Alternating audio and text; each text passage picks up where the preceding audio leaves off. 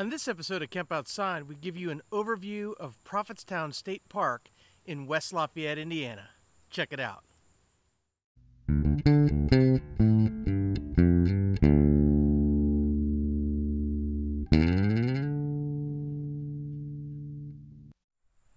Hey guys, I'm Kevin with Kemp Outside, your inside source for all things outside. Today we're going to do an overview of Prophetstown State Park near West Lafayette, Indiana. I recently did a six state park tour of Indiana in a Mount Comfort RV. Guys, I had a fantastic time. Thanks so much to Mount Comfort RV for putting us up in a Coachmen Freelander and letting us explore Indiana. Guys, if you need anything RV related, if you need to buy an RV or a camper trailer, a fifth wheel, a pop up, a travel trailer, whatever you need, check out the guys at Mount Comfort RV. They're just east of Indianapolis. They have a fantastic parts and service department and they have a rental fleet. So anything you need RV related, definitely check them out. And guys, thanks for sponsoring this video. So let's take a look at Prophetstown State Park. Prophetstown State Park is located in West Lafayette, Indiana. It's easily accessed by Chicago or Indianapolis, Terre Haute, Bloomington, Columbus, Cincinnati, Dayton, Ohio, or Fort Wayne. Prophetstown is a relatively new state park with lots to see and do. There's a working farm, a Native American village, an aquatic center, and the campground is fantastic. One of my favorites, though, is the Tallgrass Prairie. The first thing that you notice at this park is the amazing Tallgrass Prairie. The prairie is fantastic. There are lots of trails to go through. There's even some paved biking trails. These were some of the shots from the campground at our campsite, uh, just views of the prairie. The wildflowers in the prairie were fantastic. The amount of wildlife in the prairie uh, was terrific. We really enjoyed watching the cottontail rabbits run around, as well as all of the different songbirds that were in the prairie. I actually worked in a tallgrass prairie when I was in college 20 years ago, and so being able to experience the prairie again was really special for me, and I really, really uh, think that the Indiana DNR is doing a fantastic job maintaining the prairie at the park. There's a working farm at Prophetstown State Park. Let's take a look. The farm is one of the first things that you come across when you enter the park. It's indicated by the red arrow, and you can't miss it. There's a large red barn. As you make your way from the parking lot into the farm itself, you can see there's a little uh, welcome area with some signage and some information. And this is a 1920s farmstead, so very cool to see what farming was like at the beginning of the modern age. The first building that you come to is a little house, and I'm guessing that this house was more for maybe one of the workers of the farm. It's not the main uh, homestead uh, on the on the property. And what's really cool about these buildings is you can go into them. So we walked into this little house to see uh, what a house like this would be like in the early 1920s. And so it's completely furnished, which was really cool. You could see the sitting area, the bedrooms. Here's a bedroom off to the right here. Lots of neat artifacts, plenty of things to see. And as we make our way into the dining room, lots of stuff on the table. You could be in here all day just reading about all the different things that are uh, in the houses. It was really, really cool to walk through. And I really liked the kitchens. I thought the kitchens were really cool to see the old stoves and uh, ice boxes and things. So as we made our way out of that house, we made our way up to uh, the main homestead on the property. And again, educational signage is everywhere. This was done really well. And so here's the main house. Gotta love the giant porch.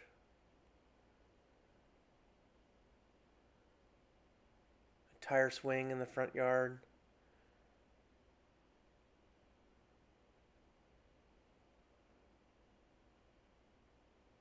And here's the inside of the house.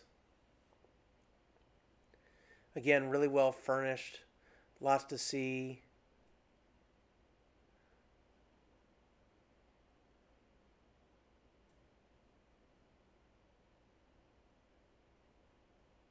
The dining room.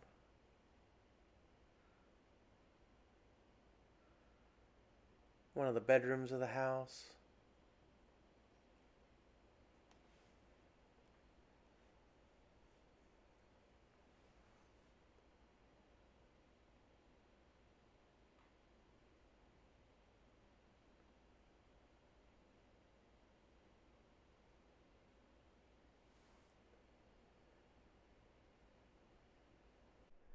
It's amazing that even though these houses and buildings aren't from the 1920s, they look like they are. The farm was opened in 1995, according to their website, but it gives a great idea of what farming was like in the 1920s.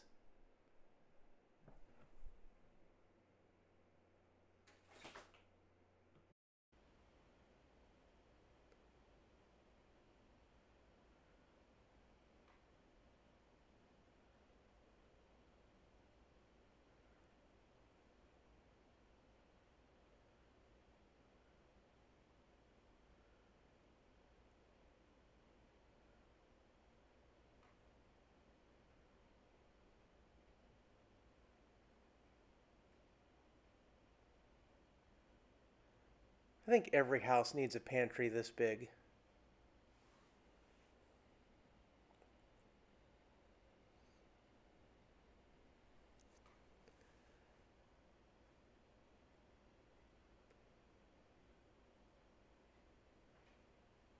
As we made our way behind the house, we found the chickens. They had chickens, turkey, ducks, geese.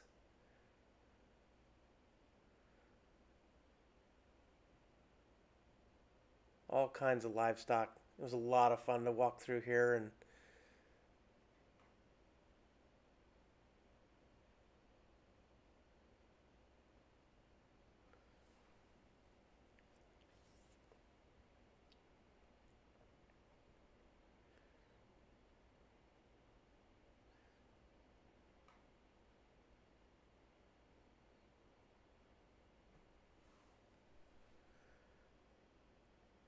I'm sure this place has plenty of eggs.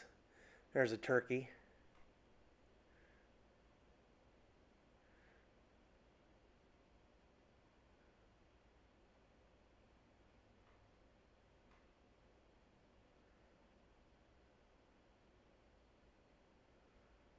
And as we made our way past all of the uh, birds, all the chickens and ducks and turkeys and stuff. We came to the barn where we got to check out a lot of the uh, period correct equipment.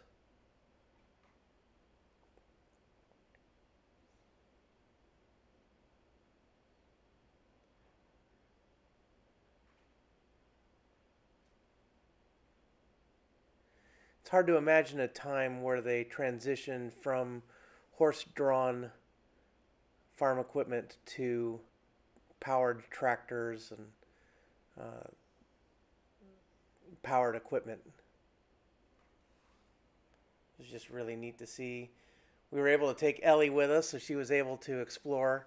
She definitely wanted to chase the chickens, so we had to keep her on a tight leash, but she did love walking around. And then into the big red barn.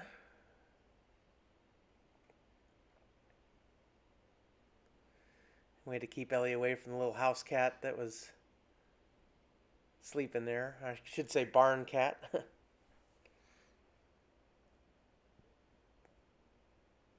There's just something about old tractors.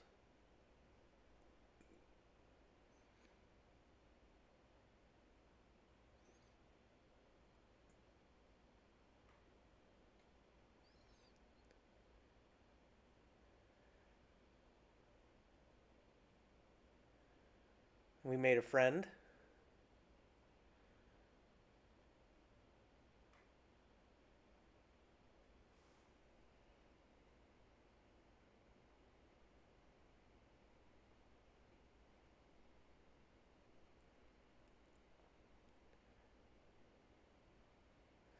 It's hard to tell from the video just how big this barn was, and up top they have huge haylofts.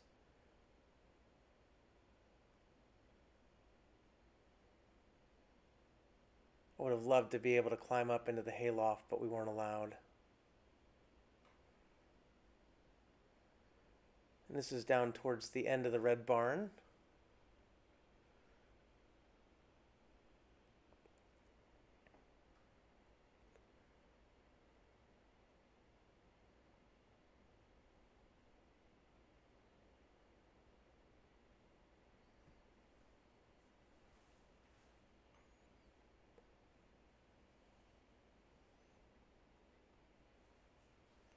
Look out into the field. Had some cows and horses out there. And the last building we checked out at the farm was the blacksmith shop. I imagine a blacksmith shop was very, very important in the 1920s to keep everything going and to keep the animals healthy shoeing horses and whatnot. Had a lot of tools and equipment in this blacksmith shop, so it was really cool to check it out.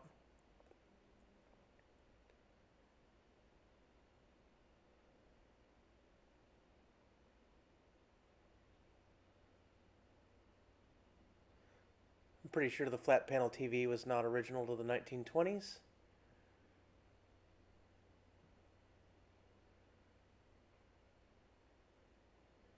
What a cool place to explore. By all means, if you're at Prophetstown State Park, check out the 1920s farmstead.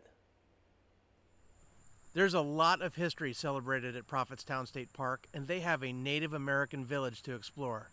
Let's check it out.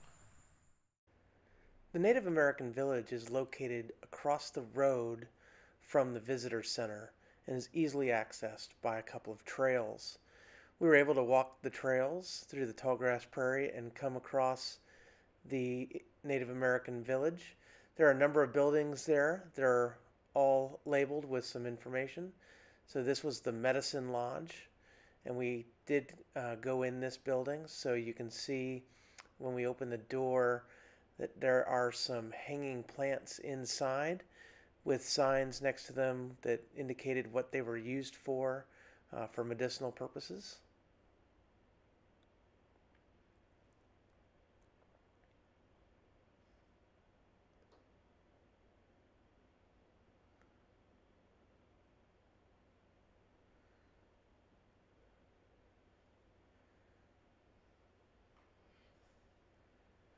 It was very cool to see how uh, Native American cultures would have built the buildings on the prairie.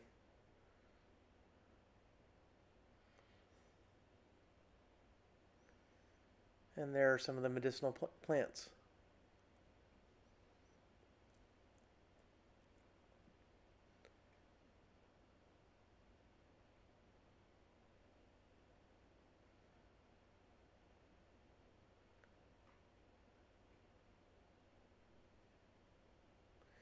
Here's another area in the Native American village that kind of showed how uh, they would have worked. So the little hut there with all the um, uh, with the flat roof, that's where they would have worked.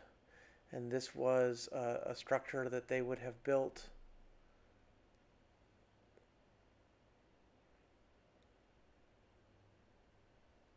And this building was their granary. So uh, that's where they could dry and store corn or other grains.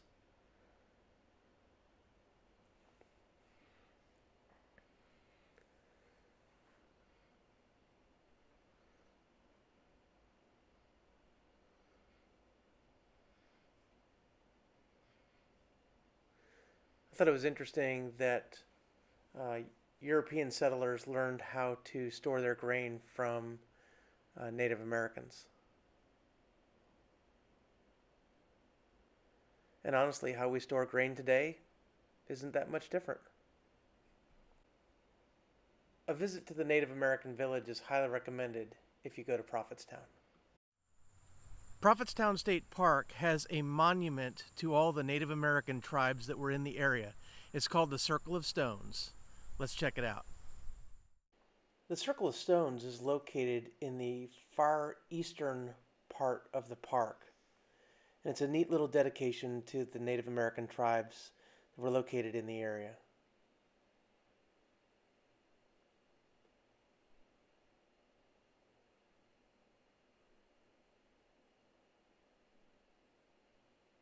This uh, particular monument was dedicated November 4th, 2016. So here's the Circle of Stones.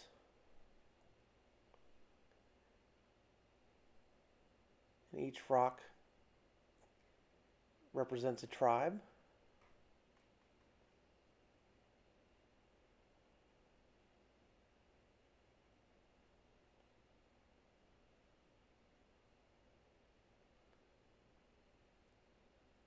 I really like how Prophetstown State Park incorporates so much history from the area.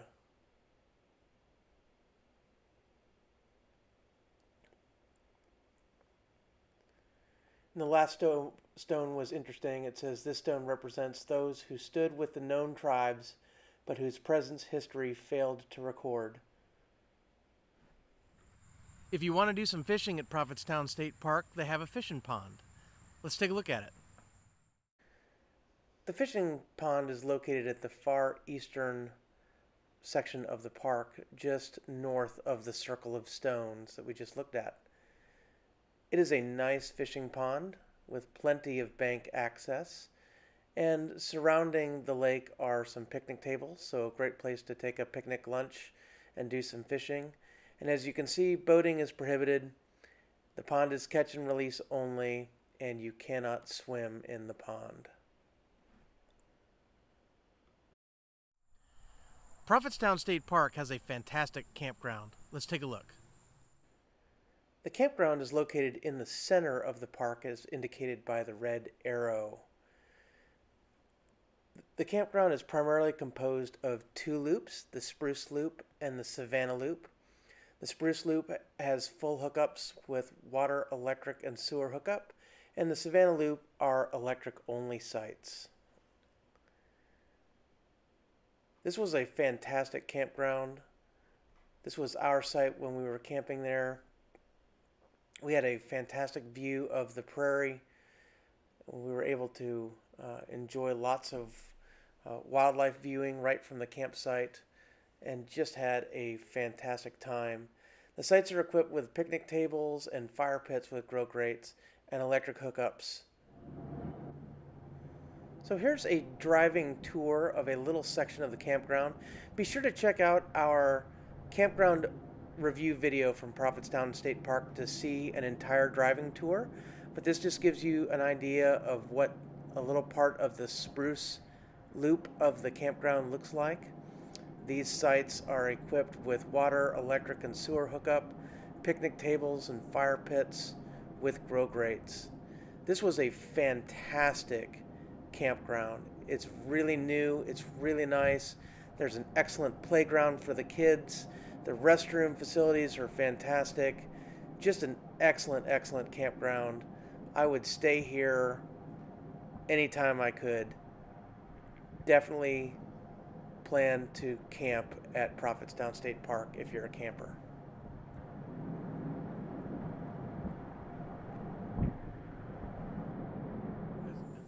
And now it's time for my son's favorite part of this park, the Aquatic Center.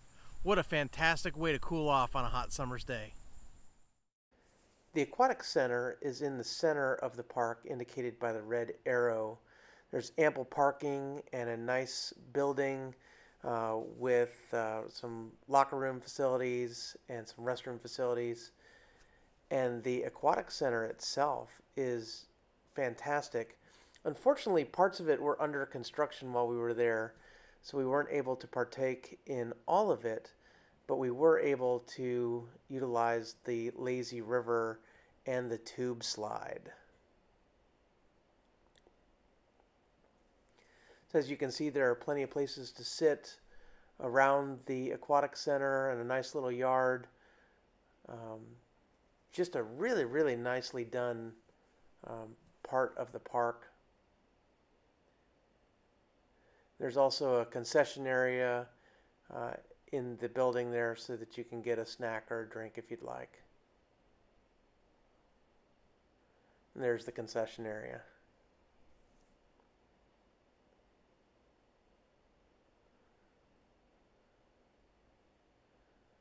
So here's part of the aquatic center that was under construction, but you can see there's some swimming areas with some basketball goals.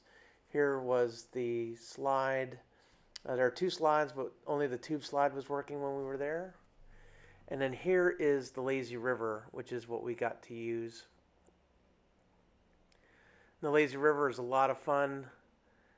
There's plenty of tubes, so you just hop on a tube and just work your way through the river itself. And again, lots of places to sit or to throw your stuff. Some nice grass to sit on if you wanted to throw a beach blanket down or something uh, instead of sitting on the chairs.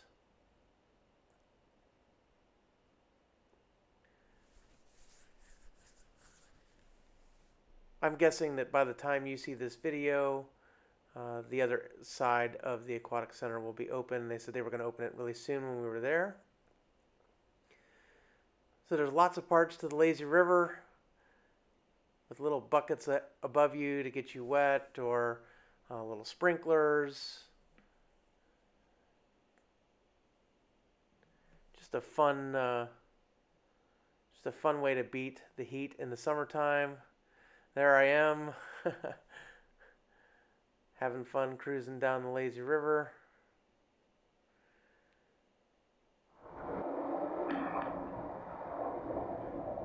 Barb went down the slide.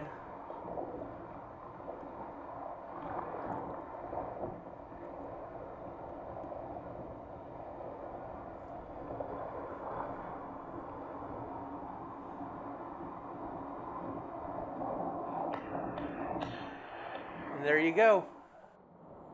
This park has a bunch of great recreation areas and picnic pavilions. There are basketball courts and biking trails, a volleyball court, all kinds of things. Let's take a look. The first section we're going to take a look at is the Prairie View group picnic area. There's a bunch of picnic shelters and playground facilities located here. Just a really neat place to spend an afternoon in the park. As we pan around, you're going to see a number of picnic pavilions and the playground in the background, as well as picnic tables and charcoal grills available throughout the area, and a large uh, parking lot area to park, as well as some really nice paved uh, biking trails uh, to get around, as well as a restroom facility.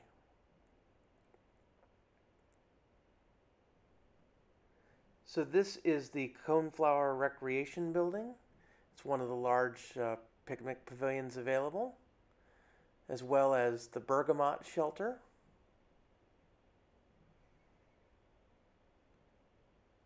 And the Blazing Star Shelter. Lots of nice big picnic pavilions for reservation. And then this is the playground facility in the Prairie View picnic area. So again, some picnic tables and charcoal grills surrounding the playground area itself.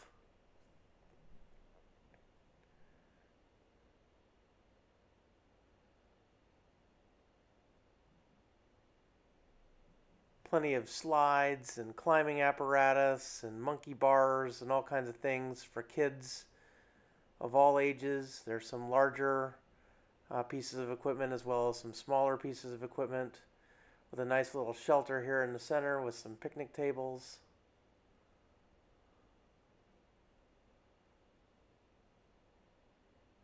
Some swings, a sandy area. just a great playground for kids of all ages.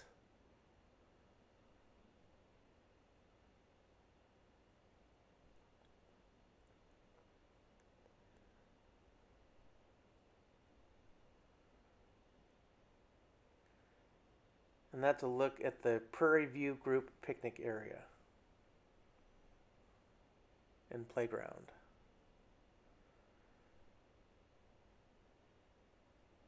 Next, we're going to take a look at the Meadowview family picnic area, which is right next to the Prairie View area.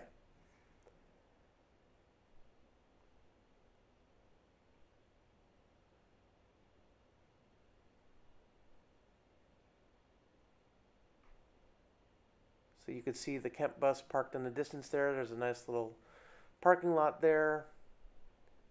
And as we pan around, you can see that is the bobolink shelter off in the distance. There's a playground area, some picnic tables, and some charcoal grills, and there's a restroom facility as well. Again, a nice, large, open area, great for family picnics and gatherings.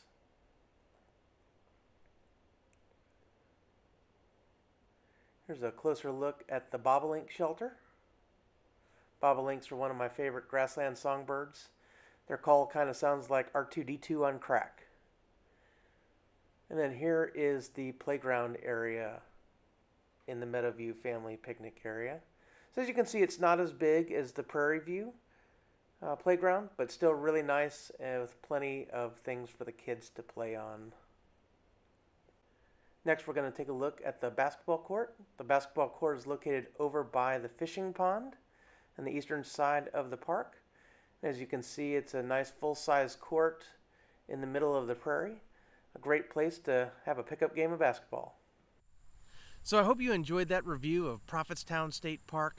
We really enjoyed our stay at Prophetstown, and it was the first stop on a six state park tour of Indiana, guys. So we are going to be bringing you a ton of campground, campsite, park overview videos, hiking videos, all kinds of videos from our Indiana summer tour. So definitely hit that subscribe button, that little bell icon that notifies you when release new videos, and hit that like button for me on this video. So thanks to Mount Comfort RV for sponsoring us and giving us an RV to tour Indiana with. You guys are fantastic. Thanks so much for being such a strong supporter of Kemp Outside.